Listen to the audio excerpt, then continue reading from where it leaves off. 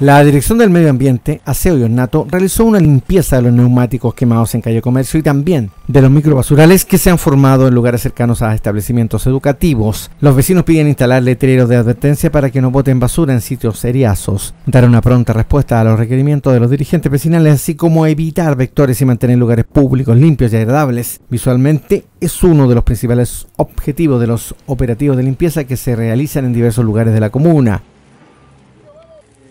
acá hay una demanda de parte de los vecinos o una solicitud para que no sea tan feo de poder limpiar estos espacios, dado que los vecinos, eh, principalmente esta población, no son los que ensucian acá. No sé si tú te pudiste fijar al principio cómo estaba de cochino. Entonces, día a día los vecinos están teniendo este problema. Hoy día hay una reunión a las ocho y media donde obviamente los vecinos van a manifestar nuevamente esa inquietud de ver de dónde nosotros, como departamento encargado del aseo, podemos colocar esos receptáculos que son para la basura. Que si bien es cierto, la gente de acá no es la que contamina, porque la que contamina es la gente que va de paso.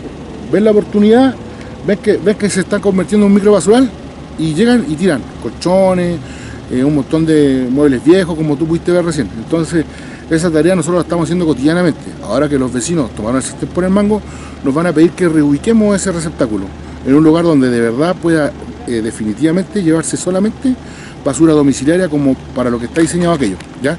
Y evitar los microbasurales. Para los vecinos del sector y transeúntes, uno de los principales factores que influye en la formación de los microbasurales es la acción de los propios vecinos, es decir, de los seres humanos. Los mismos vecinos, sean del sector o de otros espacios, que se aprovechan de las circunstancias de las instalaciones de estructura metálica, donde están los tarros de basura y cuya finalidad es acoger solo la basura de desperdicio domiciliario y obviamente para que los perros no rompan las bolsas.